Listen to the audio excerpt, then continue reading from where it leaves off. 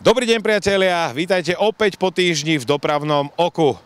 Blížia sa sviatky, mnohí z vás sa chystáte na hory, tak sme dnes porovnali, čo je lepšie, snehové reťaze alebo snehové ponožky na auto.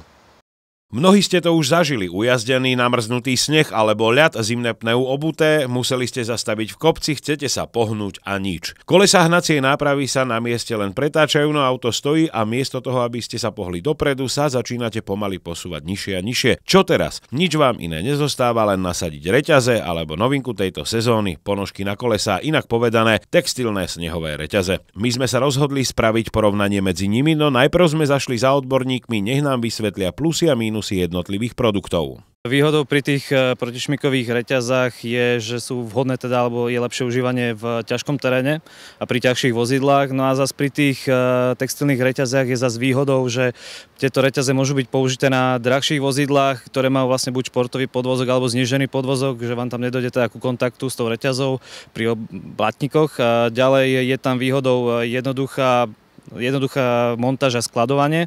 Takisto je tam vlastne výhodou oproti tým klasickým, eh, klasickým reťaziam eh, lidárny záber, takže vlastne vám to priamo zaberá, eh, nie je tam žiadna medzera, pri, pri tých reťaziach. Ďalšou výhodou je, že je to vlastne recyklovateľný materiál, takisto aj do ďalšieho použitia je možné tú reťaz umyť vlastne v práčke normálne vyprať, takže je tam viac výhod pri tých menších vozidlách skôr.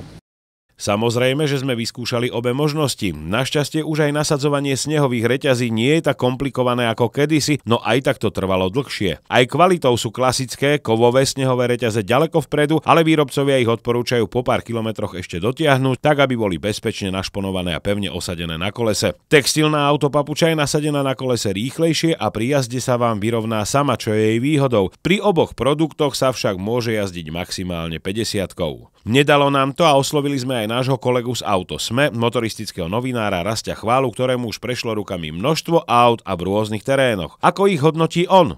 Vzhľadom na dnešnú technickú úroveň klasických reťazí dôverujem im, podľa mňa je to najlepší spôsob, ako sa dostať hlavne v tých ťažších podmienkach niekam. Tam v podstate už nejde o nejaké kompromisné riešenia, ale keď človek používa reťaze, tak už naozaj sa potrebuje niekde v snehu dostať.